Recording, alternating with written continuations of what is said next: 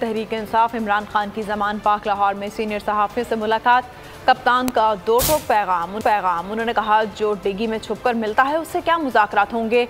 E V M के बगैर भी इंतबात हुए तो हम ही जीतेंगे। इन दो तिहाई अक्सरियत मिलेगी। इस्टेबलिशमेंट की हिमायत मुझे नहीं।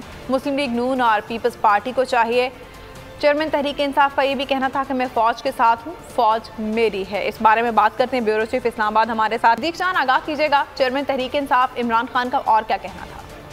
हाँ जी, बिल्कुल, ये बहुत अहम इमरान खान साहब के साथ मुलाकात थी मुलाकात थी। उसमें इमरान खान साहब ने वो तमाम इश्यूज़ जो इस वक्त चल रहे हैं, उन पर बात की है। सबसे पहले तो इमरान खान साहब ने इस इम्कान को और इस पेशकश को मुस्रद कर दिया है, जो मुस्लिम लीग नून और हुक्मरान इतिहाद की जानब से कहा जा रहा है कि एक निगरान सेटअप बनाया जाए, जो छह माह तक, जो है वो रहे और उसके बाद इलेक्शन करवाए जाएँ। इमरान खान ने इसको मुस्रद किया है। इसके साथ ही इमरान खान का ये कहना था कि मार्च के बाद की इलेक्शन की तारीख उनको कबूल नहीं है। मार्च तक की इलेक्शन की तारीख वो कबूल कर लेंगे। और साथ ही इमरान खान ने कहा कि जो उनका लॉन्ग मार्च है, वो आर्मी चीफ की तकर्री से मशहूर नहीं है। और उन्होंने ये दावा किया है कि जो उनके ऊपर हमला आवर है जो हमला हुआ है, उसके मनसूबा साज तमाम लोगों के नाम उनके पास मौजूद हैं। और वो कहते हैं कि जब उन पर हमला हुआ तो एक अहम इमारत के अहम कमरे के बाहर सुर्ख लाइट जो है वो ऑन रही। मार्शल के हवाले से उनका कहना है कि मार्शल का मुल्क में कोई इम्कान नहीं है। फैसल बॉर्डर के हवाले से उन्होंने बड़ा इंकशाफ किया है कि फैसल बॉर्डर इमरान खान को एक अहम शख्सियत से मिलवाना चाहते थे और फैसल वाटर ने दावा किया कि वो शख्सियत इमरान खान की फ़ैन है, लेकिन इमरान खान ने कहा कि उन्होंने इनकार किया, उसके बाद फैसल वाटर ने प्रेस कॉन्फ्रेंस कर दी।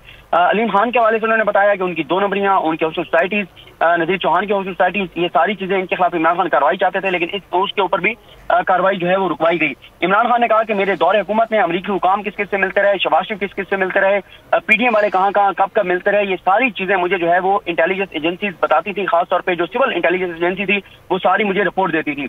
इमरान खान कहते हैं कि मैं इकतदार में आने के लिए स्टैब्लिशमेंट की तरफ़ नहीं देख रहा। दो मौकों के ऊपर सत्रह जुलाई और उसके बाद आठ हल्कों में इलेक्शन लड़कर मैंने ये साबित कर दिया कि अवाम मेरे साथ है तो मुझे क्या ज़रूरत है स्टैब्लिशमेंट की तरफ़ देखने की? और साथ ही उन्होंने फौज की तारीफ़ की। उन्होंने कहा कि फौज को बतौर इदारा मज़बूत देखना चाहता हूँ। मुस्तकम पाकिस्तान के लिए मज़बूत फौज ज़रूरी है। फौज ने पोलियो में कोरोना में लोकस में बहुत अहम किरदार अदा किया।